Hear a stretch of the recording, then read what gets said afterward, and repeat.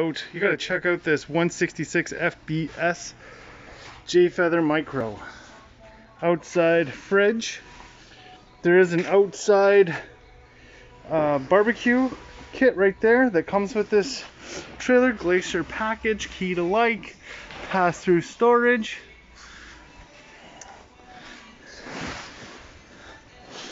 This is for the people who like to go crown crown camping.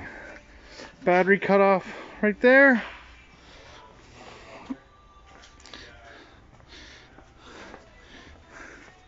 Look at these tires, like single axle, but just a robust tire.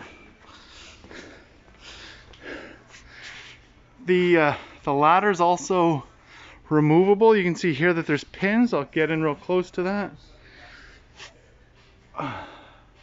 It is prepped for cameras. Let's go inside.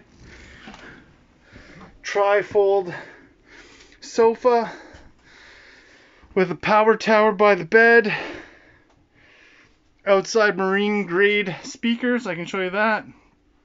Just a massive fan also. Beautiful TV by Furrion. Tons of space in here. So the cool thing that I that we found out about this particular model is you see those two right there, they come out, they're seats, and they go with the table that's behind there. So you basically have the table in here with these two in the back, and you've now got a dining room table with four seats. Just a beautiful, beautiful trailer. Tons of space, like even up in the up top here. Really, really nice.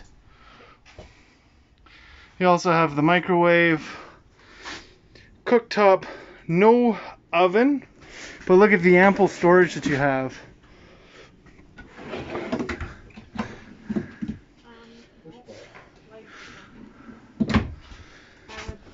Let's go into the bathroom here. Look at this massive shower. Just fantastic kitchen. Hooks. Foot pedal ba- uh, toilet.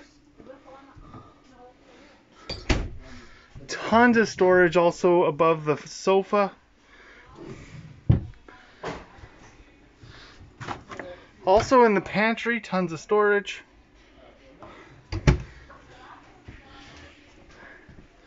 There's also storage underneath the sink here. Just a beautiful, nice little unit.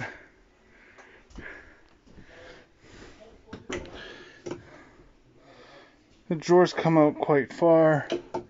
Just a nice, nice little unit to get you out into those crown camping areas. Hope you're having a wonderful day.